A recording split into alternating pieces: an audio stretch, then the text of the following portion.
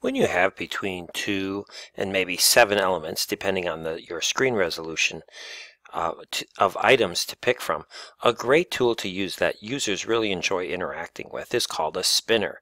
The spinner tool is located in the user interface and can be dragged onto your um, your, your phone or your IDE by just grabbing the spinner, clicking and dragging it.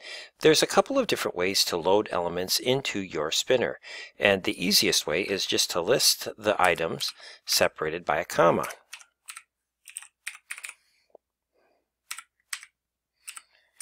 and that will load up your spinner with the items and when you click on those items you'll see that the um, items will be in the list and the user when by clicking on the spinner can pick the item and when they select the item or click on it with their finger that item will be the selection that the user makes and again they can open it there make a selection and switch the selection that way you can also load the elements using code.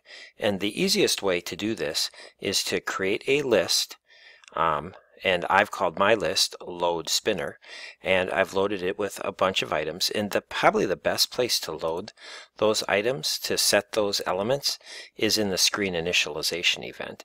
And you can just at the screen initialization initialization event get the load um, spinner list. But it, well, since I'm using an emulator, um, since I'm running an emulator, um, and I and the only time the emulator will fire is when the screen's initialized, I'm going to just put this code into the um, slider 1 position change event so that you can see it activated when I change the position of the slider.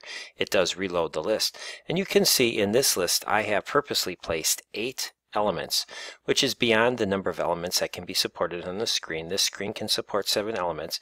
In order to get at those elements, you have to scroll, which is really awkward on a phone. Scrolling is challenging on a phone. So, um, for example, if I pick this item, um, it, it would show that item.